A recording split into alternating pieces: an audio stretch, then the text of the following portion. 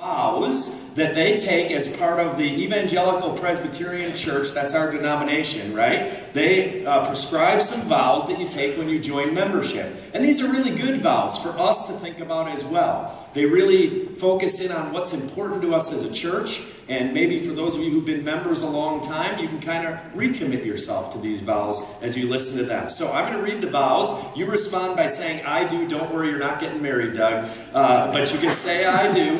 Um, and uh, then you will we'll pray over your membership. All right. So, do you believe in one God, Father, Son, and Holy Spirit?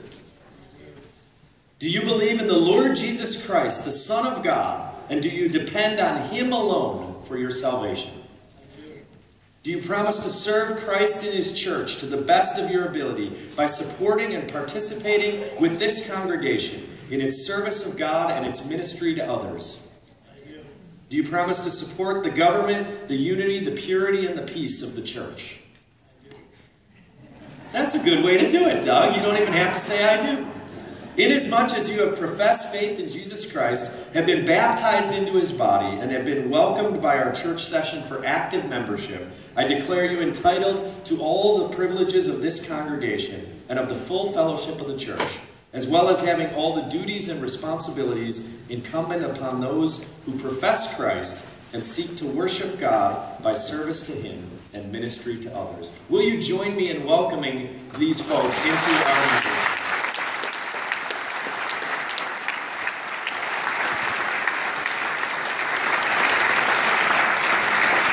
Pastor Jason is going to offer a prayer as we. So let's pray. Gracious God and Heavenly Father, by your grace alone, you make us members of the body of Christ. And we just want to confess to you and to each other that that is all of grace. It's not anything that we deserve, nothing that we have earned, but you have brought us into your family. In our normal, natural state, our normal condition, we are enemies. We are at odds with you and each other.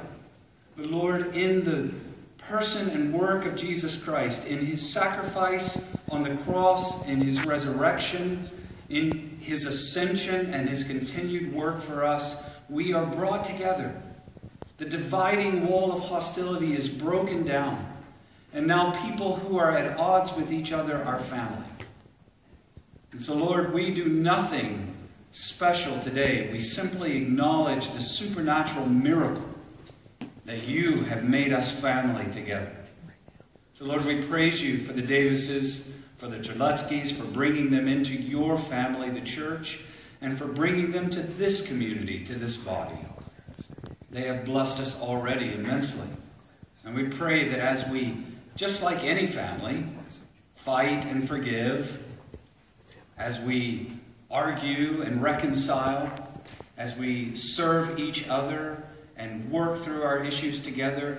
I pray that these families would bless us and bring us the glory and the grace of Jesus Christ that we need, and that also, Lord, we might return the same to them.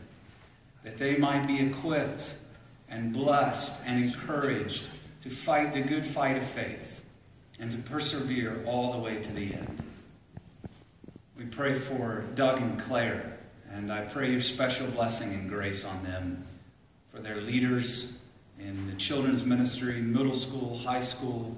I pray that they would continue in faith with you all the way through college and the challenges of early adulthood. And that they too would be uh, persistent and faithful members of our church for many, many years to come. And so, Lord, we praise you and we thank you for this supernatural miracle of bringing us into your family. And we give you all glory. In the name of Jesus, we pray. Amen.